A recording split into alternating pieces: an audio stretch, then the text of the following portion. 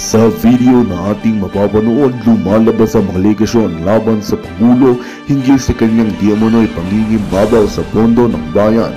Ito ay nagdudulot ng pagkabahala at pagkadismaya sa maraming netizens na tila wala pang napapakita ang administrasyon ni Bongbong na makabuluhan para sa bansa kahit pa ang dami na umanong nawawalang bilyong-bilyong pondo. Ang nasabing balita ay nagtulak sa marami na magtanong at magduda sa mga hakbang na ginagawa ng kasalukuyang administrasyon, ang kawalan ng linaw at paliwanag hinggil sa mga isyu ng korupsyon at paggamit ng pondo ng bayan ay nagdudulot ng agam-agam sa kredibilidad ng pamahalaan at sa kakayahan nito na pangalagaan ang interes ng mamamayan.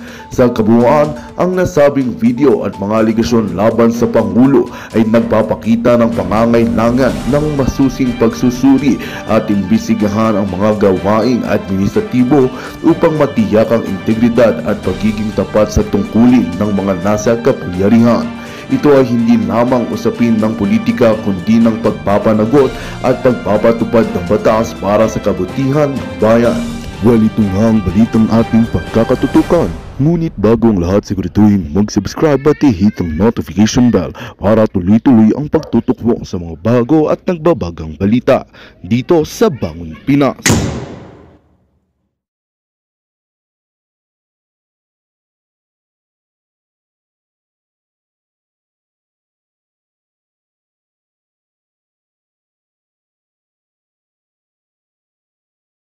nilisang mga mambubudol, eh talaga nagkakaletse-letse ang ating turismo.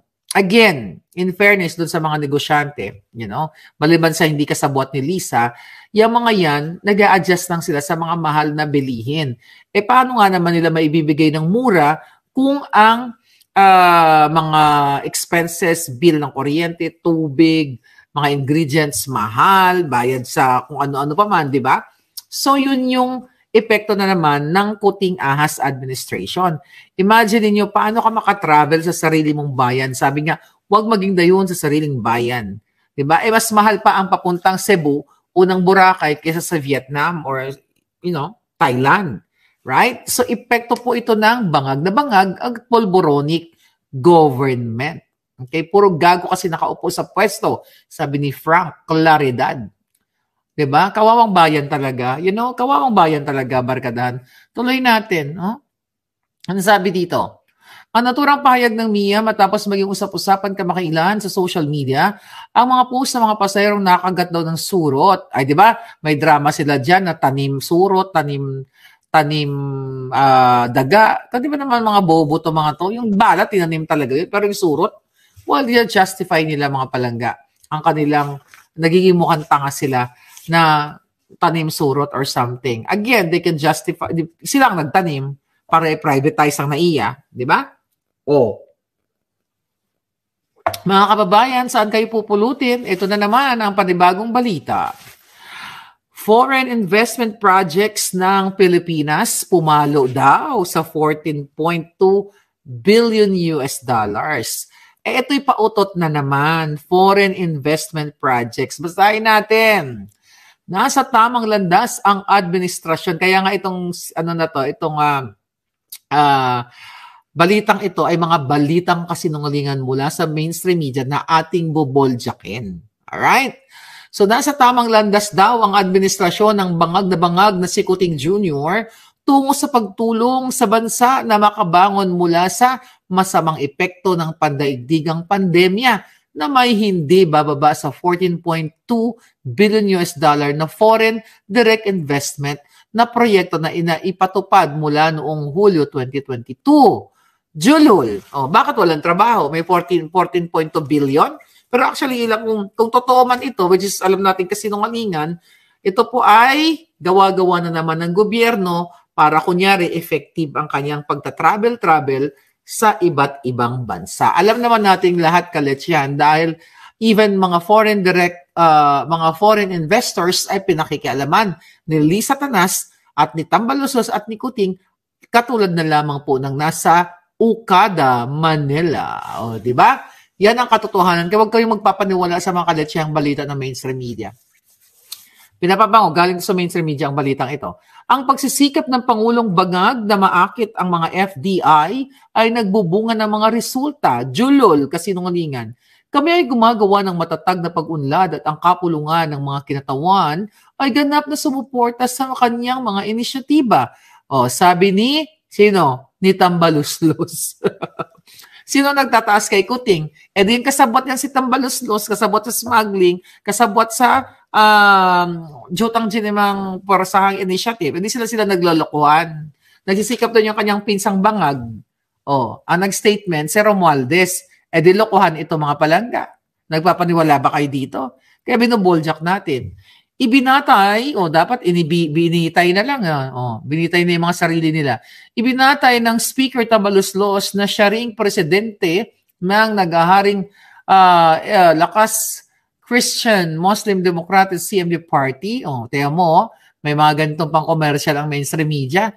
Ang kanyang mga pahayag sa datos mula sa Board of Investors ng Department of Trade and Industry sa pangunguna ni Alfredo Pascual, okay, sekretaryo sekretaryo ng uh, uh, Trade and Industry. Okay, ito yung nagsabi, 'di ba, na meron silang investor 1.53 uh, billion ay iuwi sa Pilipinas, US dollar yung pledges.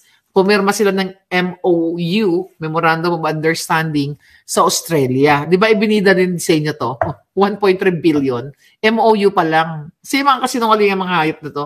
Kung hindi natin binubodya ka mga balita, eh, ma, do, ma, goyo talaga kayo. Alright, sabi dito, ang pagpapatupad ng 14.2 billion na FDI mula sa inaasahang kabuuang 72.2 billion ay makabuluhan at maari, marami pang proyekto nasa pipeline, di ba? Baka nasa pipeline mga pulburon yung mga proyekto, hindi talaga para sa taong bayan. Ito ay nagpapakita ng pangako at pagsusumikap ng gobyerno sa pagpapabuti ng buhay ng mga Pilipino. Another julul. Kasi nungalingang kahayupan, di ba? Sila lang ang sama-sama nagiging milyonaryo. So see how your mainstream media, di ba, handle the fake news. Kasi nungalingan. Kung totoo ito, na maraming mga investment, maraming pumasok na foreign investors, eh dapat sana may trabaho kayo. Di ba mga palangga, hindi sana kayo naghihirap. Isa na umuwi na nga mga OFW. So ito yung mga kaletsyan kasi nungaling ng balita. Tuloy natin. Layunin namin, ito galing to kay Katambaluslos, unti-unting pahusayin ang ekonomiya sa buong potensyal nito. O, pahusayin.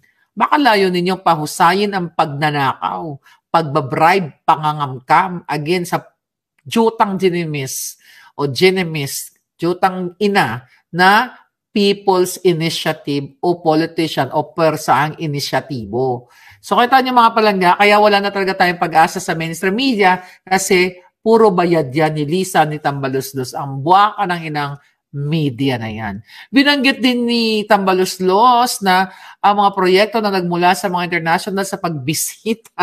See, again, para sabihin, to justify again yung kanilang travel, sinasabi nila ay meron silang investor uh, may mga nag nag-pledge at ito nga mga investment chuchu na hindi naman ramdam ng taong bayan kasi kung meron mang investment eh napupunta sa bulsa nila. Okay? Nag-extort na kaagad sila kasi mga extortionista nga. Yung Okada nga lang, 'di ba? Paulit-ulit nag-extort sila diyan. Hmm. Binibigyang diin na bukas uh, nabukas ang Maynila para sa negosyo at may mga planong paluwagin ang mga mahigit na patakaran. Ngayon ay bumuo na ng 20% nakabuang pangako ang administrasyon. uh, paano pupunta ang ano dyan, ng mga foreign investors, yung mga daga pakalat-kalat, mga dagang kamukha ninyo, mga kawangis ninyo, mga maka, makukyoho, mga mababaho na mga may sakit na bitbit. Diba? Ayon kay Tambalusnos, well, enough for this BS. Pag mga ganitong klaseng kasinungalingan, enough na. See how they twist the story? Paano kayo linlangin? Ang daming foreign invest mo, uh, in, uh, investment, foreign direct investment. Eh bakit wala nga kayong trabaho mga kababayan?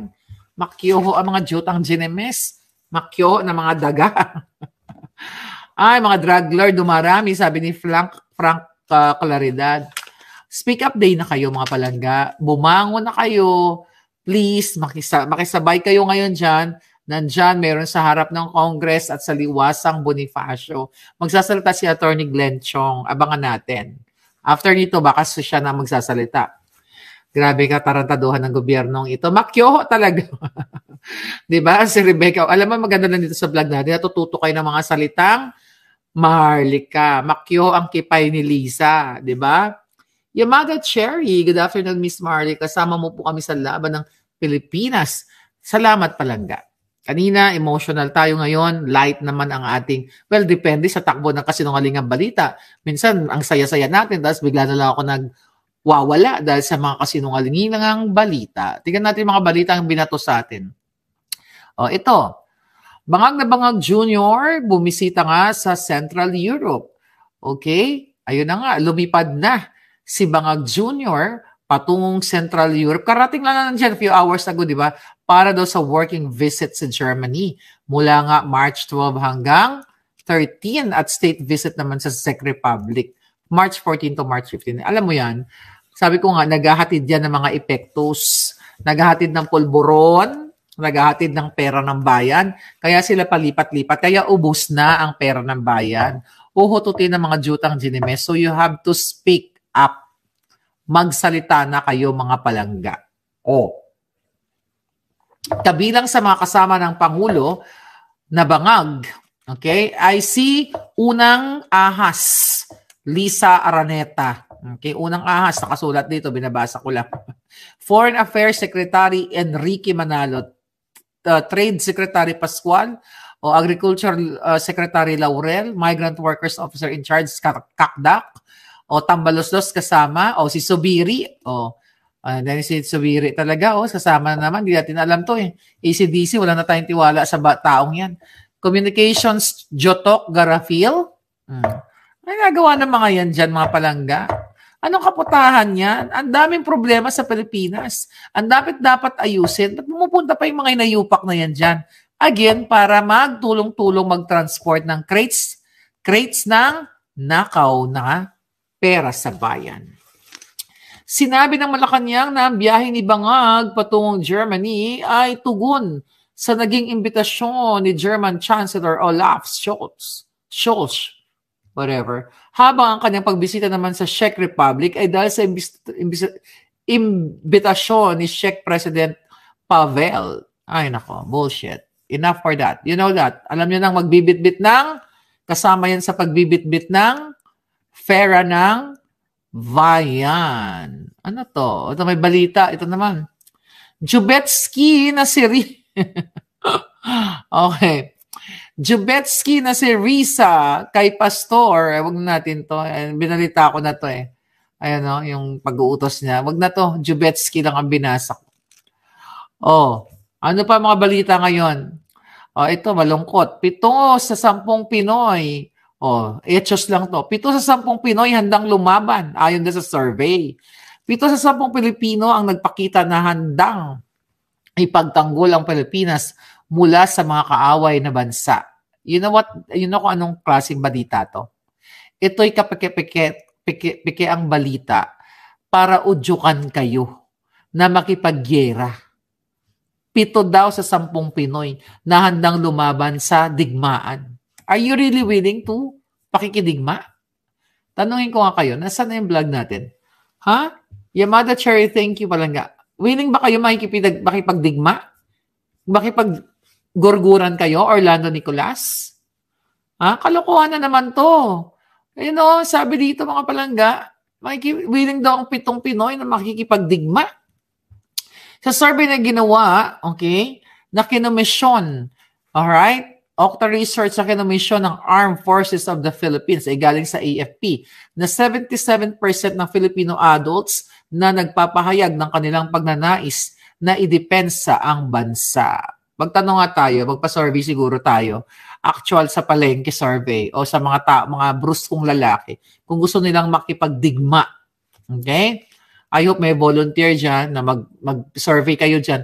Tanungin nyo yung mga lalaking brusko o kahit hindi brusko, basta lalaki, kung willing ba sila makipaggurguran laban sa China. Kasi ito lang naman ang gusto ni Kuting. Eh. Iba lang nga kayo sa kanyon. Hmm. Sabi ng uh, survey, across major areas daw, Okay, kinakinumisyon ng AFP. At least 60% of adult Filipinos are willing to fight for the country with the highest percentage observed in Mindanao, 80, 84%, and the lowest percentage in Visayas, 62%. Okay, mga palangga. Willing tayong mag-fight para sa ating bayan, pero hindi sa pakikipagyera willing tayong labanan ang mga taksil katulad ng mga taksil sa AFP, sa PNP, kay Lisa Tanas, kay Marcos Jr. Yan dapat ang nilalabanan dahil ang tunay na taksil at traidor, hindi ang China. Kung di mismo ang presidente ninyo, ang ahas si Tambalusos, yan ang unang taksil. Kung gusto nyo makipagdigma at gusto nyo marinig ang boses nyo, sumama kayo. Dahil dito sa ating Speak Up Day na nagaganap, hindi kailangan magdanak, okay, magbuwis ng buhay. At mag-dismember ng inyong mga alindog para makipagbakbakan sa China. Gusto niyo yon? Ang tunay na kalaban ay nasa nasa nasa Germany ngayon. Ang tunay na kalaban mga tiwali sa PNP. Ang tunay na kalaban nasa AFP ang tiwali. Yan dapat ang labanan ng taong bayan para magsalita, mag-voice out peacefully para matapos sila. See that? Ngayon gusto pa kayo ibala sa kanyon, mga inayupak na to. Gawa-gawa ito ng gobyerno para ma-justify nila na handa na ang Pilipinas, 77% na mga adult o mga nasa tamang edad ang gustong makipag bang bang bang bang bang. Sige, mag-survey tayo. Tanungin natin dito. Ngayon, mga palangga, yung mga nanonood. Okay. Sino ang handa? Okay, can you comment? Sino ang handa makipagdigma? Meron ba? Ano nga mas ang gamit ng Pinoy? Tirador? Good point, sabi ni Tess Music Channel. Willing ba kayo makipagdigma kayo sa China? O, palasyo na tayo. Dominasyon na raw kayo sa palasyo. O, wala. O. Sige nga, kayo, tanong kayo, mga nanonood, gusto nyo makipagdigma sa China? Gusto nyo iba, ibala kayo ni Kuting? Walang handa. Si Kuting muna mauna. Exactly. Yung pamilya muna niya mauna. Ibala niya si Lisa. Dahil yan ang kumakamkam ng pera. Di ba matapang yung hayop na yan, ang jujombag? E di, unahin niya, siya ang unang manjombag sa mga chi- Chinese kung yun ang gusto niya. O ayan, comment kayo dyan. Gusto niyo makipagdigma sa China? Tanginan to mga to, binabala kayo, may pa-survey-survey pa. So yan po ay what? Mind conditioning. Kinokondisyon ang seven ang mga taong bayan na, oy, okay pala tayo makipagbakbakan. Ipaglaban natin ang ating what? ang ating bayan. Hindi man tayo inaaway. Open naman ang China sa peace talk. Di ba? Bakit tayo makikipag-away? Hindi naman tayo binabrata-tatatat. Ay gusto ni Kuting ibrata-tatatat. Nagtatapang-tapangan siya ngayon. Sabi nga niya, yung kanyang mga kasinungalingan noon, hindi dapat neutral lang siya. Dahil pag bumahing daw ang China at Amerika, eh mawawala tayo sa mapa. Eh bakit ngayon gusto niya makipagdigmaan? Bakit? Ano ang ano ang uh, kondisyon kung bakit gusto ni Kuting na tayo ay makipagbratatatatat? At itong AFP na ito, mga tiwali dyan, si Browner Aw-Aw, gusto niyo ibala? Eh kayo mauna. Si Lisa ang unang yung ibala dyan. Si Sandro, yan mga anak ng tatlo, di ba lalaki yan? Yan. O, bigyan nyo ng armas. At una ng bangbangin, o, kung gusto niyo talaga ng gulo, bangbangin niyo nung mga dapat bangbangin dyan. Mga leching to. Ito. Sa naturang survey, ang Davao at Caraga region ang nakapagtala ng pinakamataas na percentage. 96% daw ang Davao. This is BS. We're not gonna finish this kalechihan, mga palangga. Alright? Pinagloloko tayo. Oh. Pagkakaisa, ito panibagong balita, kasi nungalingan ni Kuting. O, happy Ramadan sa ating mga kapatid na mga taga Mindanao, mga Muslim. Okay? Happy Ramadan. O, sabi daw ni Kuting, pagkakaisa, pagpapatawad, hilingi, bangag sa panahon ng Ramadan. O, ito ang drama niya. Sinabi ni Bangag Bongbong Marcos Jr. nitong linggo na umaasa siyang mapapalakas ang Ramadan, ang kinship and open hearts to forgive, forgive grievances. Julul. Pero ang asawa mo, vindictive narcissist. At ikaw din, lahat kayo mapaghinganti. Kaya nga kinasuhan nyo si General Macanas kahit walang grounds, walang probable cause. Kaya nga gumagamit kayo ng proxy para kasuhan ako, pati si Attorney Glenn Chong, lahat ng gusto nyong kasuhan. Lahat. Pagigipit. Tapos anong sabi mo, Kuting? Oh, mapagpatawad ang puso mo? No. kasinungalingang balita to, mapaghiganti. Mga demonyong mafia po ito, hindi totoong nananawagan siya ng mag, mag, mag ano, uh, mapagpatawad na puso sa ngayong panahon ng Ramadan. Ito po ay kabulastugan, kasinungalingan at gawa-gawa para dinlangin ang ating mga kapatid not only Muslims but lahat ng Pilipino. Hindi totoong gusto niyang mapagpatawad dahil kung ayaw ni Kuting ng gulo, hindi siya dapat nagpapasulsol para makipagdigma sa China. Kung gusto ni Kuting na, na walang kaguluhan sa Pilipinas, hindi dapat niya pinapalaya si Chandiramani, si Sayarot, at yang si Michael Ma dahil yan ay what? Mga demonyo kasama, well, kasabwat nga, di ba? Ayon kay Kuting, ito ang kanyang mensahe. It's my hope that this month-long celebration will strengthen our kinship, open our hearts to, hearts to forgive, forgive past grievances and embrace the spirit, a spirit of harmony that will redound to our collective progress. Together, let us build a future where love and understanding, uh, where love and understanding prevail, and where the light of hope shines brightly for all. It's all what? Speech-speech lang yan palangga. Kuno abi lang, kunyari lang. Ang future na binibuild nila, yung future nila para manatili sa pwesto. Kaya naman, itong PI ay gusto nilang isulong.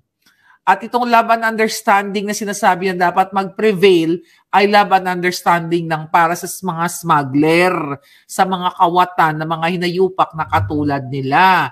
Yung pag-asa na sinasabi niya, na mag uh, na mag-shine sa pangkalahatan ay sa pangkalahatang sindikato na kasabwat nila. It's not for the Filipino people. Ang sabi pa ni Bangag Jr., solidarity with our Muslim brothers and sisters. Huwag niyong ginagamit ang ating mga Muslim brothers and sisters kasi ang solidarity ni Marcos Jr. ay solidarity sa mga, ulitin natin again, polboronic, smuggling, kawa, lahat, corruption, PCSO Solidarity kay Mel Robles pagpapanalo ng mayat maya sa loan better na si Lisa Ahas Marcos na ayaw pang ibukelya ni Rapi Tulpo dyan na tanong na bayaran na ng isang bilyon. Kaya tumahimik na no, Rapi. No, 'di ba? Tumahimik ka nang hinayupak ka. So diyan kayo nagkakaroon ng solidarity dahil na backdoor ka na, right? So ano, nasaan napunta yung isang bilyon, Rapi? Kulang pa ba yung mga extort, mga exploitation na ginagawa mo sa channel mo? Oh. Saan binigay? Saan mo hinulog ang isang bilyon? Oh. Ano, ha? Ah, hayop na to. Today marks the beginning of this sacred journey of Ramadan. Ah, pinagluloko tayo ni Kuting. Ano ba sinabi ni Kuting? Is with no doubts that our Muslim brothers and sisters have made invaluable contributions to our nation's history and heritage, shaping our beloved motherland into the diverse and united country that is today, ayon kay Kuting. Yung ating mga katutubo, yung ating mga grupo, yung mga iba't ibang grupo ng ah, mga Muslim brothers natin, hirap na hirap, walang tubig, walang pagkain. May nag-send sa akin eh. I think, uh, yeah, tungkol dun sa mga tribo na napababayaan na naiipit sa digmaan ng mga militanting grupo, mga makakaliwa. Kaya itong kadyutahan ni Kuting, mga kababayan, wala ito just for the heck sa celebration ng Ramadan para lang lang siyang may i-deliver na balita o na message sa inyo. Pero ang totoo, hindi niya wish na magkaroon ng pagkakaisa ang Pilipino. Dahil ang pinagkakaisa niya, pinagbubuklod niya ang mga smuggler at ang mga polboronic. Yan ang katotohanan dyan, mga palangga. Right? Thank you, sabi ni Vilma Eduave na may isang maharlika. O yeah. Lisa Bangag uh, Smuggler, sabi ni Nengchi. Okay. Nakakahiya. Okay? Nakakahiya. Bayaran. Sinong, ah, sino, ah, si Rafi? Oo, 20, ano yun? Billion. Uh, di ba? Tignan mo, yung isa sa expose ko yun palangga. Kawawa Pilipinas. Lahat na lang, umasa kayo. Senador nyo, ando doon. Mga kongresista nyo, nando doon. Nanggigipit habang lumalamon ng pera ng bayan. Habang tumatanggap ng bilyon-bilyon. milyon, bilyon na mga bribe galing kay Tambaluslos, galing kay Lisa, galing kay Marcos Jr. para palitan ang konstitusyon na naaayon sa kanilang uh, panglasa dahil gusto nila o sa, sa kanilang naaayon sa kanilang kagustuhan na manatili sa pwesto. Ngayon, Muslim ka man, Kristiyano ka man, gamit na gamit tayo tuwing Ramadan, tuwing Pasko, kahit ano na lang na mga okasyon, pinapal, pinagpapalabasan ng mga kaletsyang speech itong hinahayop na kuting na ito, pero hindi niya ginagawa ang what? Hindi niya ginagawa ang tama. Kasi paano gagawa yan? Bangag na bangag. Ano to? Oh, Or mga kasinungalingan itong mga balitang ito. My God! O, tingnan natin.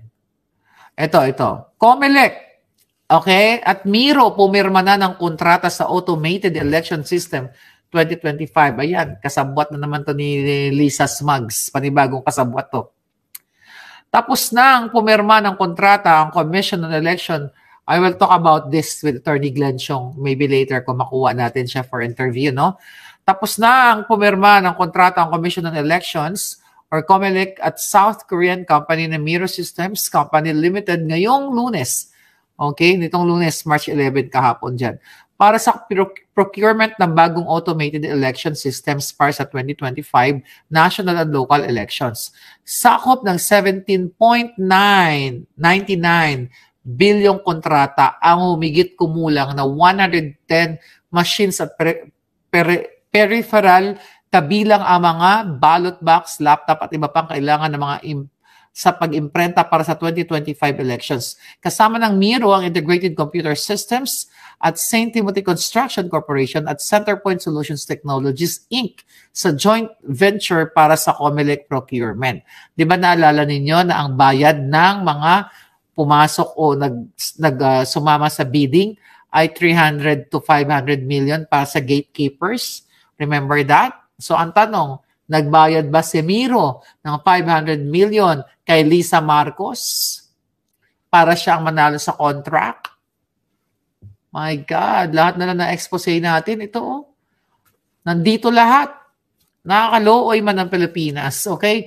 Sabi dito, pa, pa, pinangunahan ang pag-sign ng kontrata ni Garcia, Comelec Chairman Garcia, Commissioner Ray Bulay, Miro President Chong Jin-book. Okay, ito ay dalawang linggo matapos ipahayag ng COMELEC na iginawad na ang kontrata sa Miro ang nag-iisang bidder sa procurement. Nauna na nagpahayag ng pag-aalala ang ilang mga mababatas, election watch, watchdogs at iba pang mga grupo na nananawagan sa COMELEC na manatiling uh, vigilante at suriin ang track record ng Miro. Eh, di ba maraming mga issue ito na mga kapalpakan sa ibang bansa na nagkaroon ng mga failure of elections gamit ang kanilang technology. O sino nasa likod dito? Si Lisa Smugs. At I believe uh, meron tao si Lisa Smugs dito eh na na hindi ko lang may nag-send sa akin sa dami ng information na dito sa Miro na ito, kumbaga meron tinalaga si Lisa Smugs dito para what? Makipagsabuatan na naman okay sa mga tiwali dyan. But we'll see. Okay, let's talk about Attorney Glenn Chong siya ang expert dyan. Baka updated siya dyan sa isyong yan.